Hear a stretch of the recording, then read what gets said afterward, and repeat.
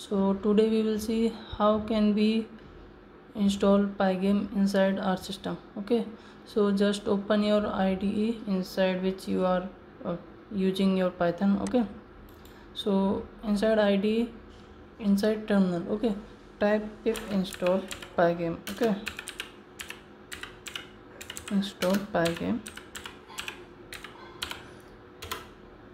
and for me it's saying requirement already satisfied as I have already done it.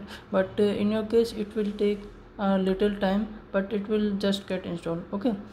And uh, you can do this using your cmd as well okay? So here again you need to type pip install pygame right?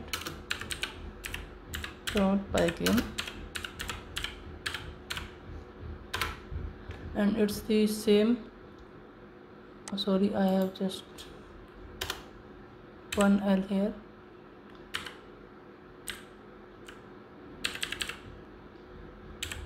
So let's collecting pygame so actually these are two different places. At one place it's been it's been installed but uh, at another place it's not installed okay? So it's just install it again okay? So in your case it will done easily and just you need to type py pip install pygame okay? So thanks for watching. See you in the next videos